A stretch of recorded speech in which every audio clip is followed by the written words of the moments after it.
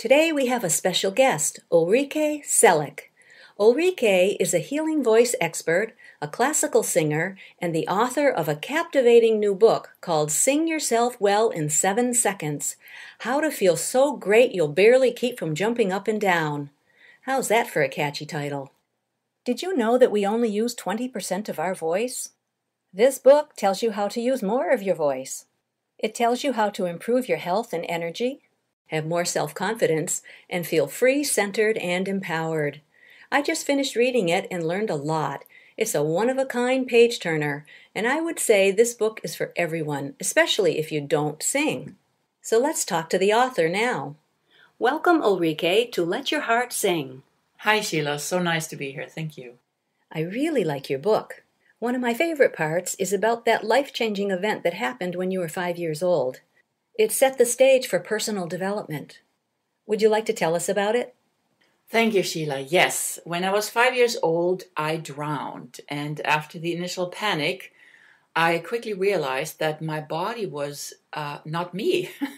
I popped into a state where I was absolutely at home. I felt so cozy and everything was light filled and there was humming and I was home. There was nothing to wish for and I was safe and it was as if I've always been there. So from a very, very early age, I got to know what God is, where I live, who I, who I really am.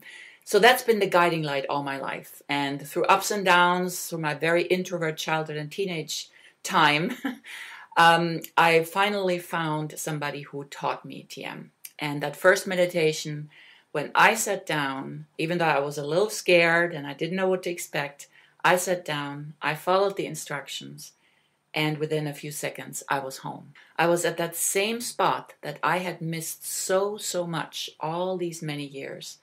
And I remember tears running down my cheeks, and uh, I was home. Nothing more to uh, yearn for or seek for, finally. I had been given the key to life, and I never let it go. I've been meditating ever since, and it's the most precious, precious thing that I've ever experienced in my life. But nature wasn't done teaching me when I was had just become a TM teacher after um, serving, uh, being around Maharishi for two and a half years and cooking for Mother Divine, uh, I became a TM teacher and then I taught TM.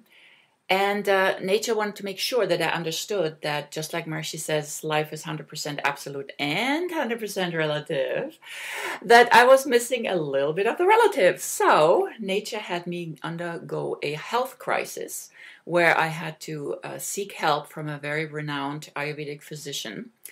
And he told me that if I wanted to heal, I had to learn to sing. This imbalance was in my throat, the fifth chakra, the seat of communication, and I was not communicating.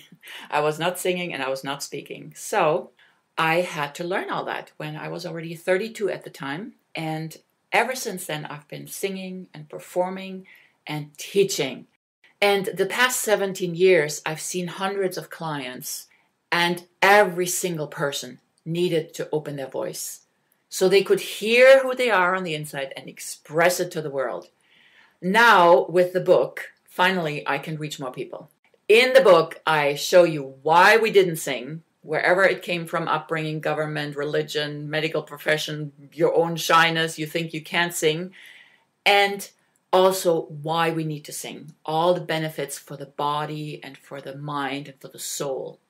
In addition, I also teach you the seven steps that once you learn them, and it'll take you reading the book and maybe learning it from the video training, uh, it's about two hours of video training. Once you've learned it, you'll be able to apply it in seven seconds. In seven seconds, if you feel in a funk and you want to get out of the funk, you just start those steps. And I promise you, in seven seconds, you will feel different. Your body will, will have a different chemistry. Your brain will react differently. You will not even remember what funk you were in just before. One of the most important points that I learned from reading the book is that the body needs space in order to create beautiful, harmonious frequencies, vibrations, and sound. And um, that's what your seven steps does. In seven seconds, it opens up the space in your body. Exactly. You're having a book signing coming up very soon.